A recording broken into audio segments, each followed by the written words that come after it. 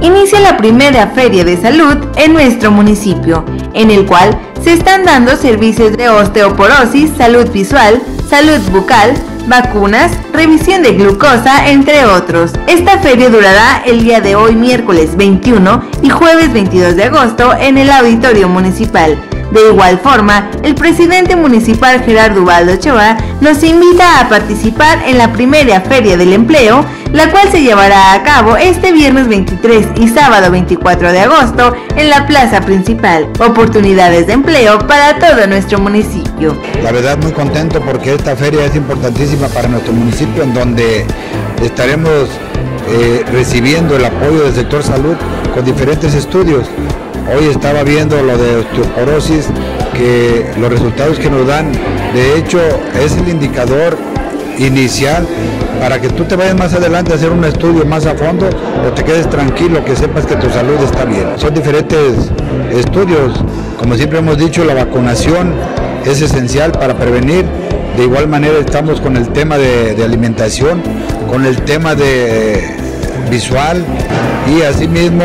el tema de, la toma de muestras para checarte los índices de azúcares, asimismo la prevención de los infartos, que sepas en qué niveles andamos con, ese tema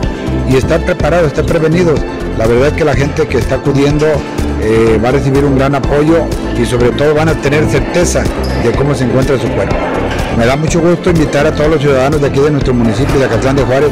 aquí a la cabecera municipal hoy y el día de mañana, en donde estaremos dando todos estos servicios para que ellos puedan aprovecharlos. Y asimismo el día viernes estaremos en la delegación de Bellavista para que la gente también de, las delegaciones aledañas como es el plan y, y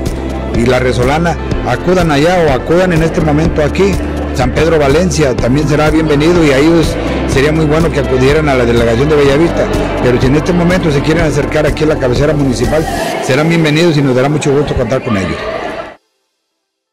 Hemos estado trabajando, esta feria de empleo se está trabajando por parte de la administración para que toda la gente que aún no cuenta con un empleo, van a estar todas las empresas de centro logístico y tres, cuatro empresas más adicionales para que la gente tenga diferentes opciones y la oportunidad de colocarse porque la verdad la crisis por la que estamos pasando en este momento económica es muy difícil, es muy pesada. Invitamos a los ciudadanos a que se acerquen para que en su momento pues, puedan aprovechar este trabajo que estamos realizando para ellos. Va a ser el día viernes aquí en la plaza principal de Calzán de Juárez,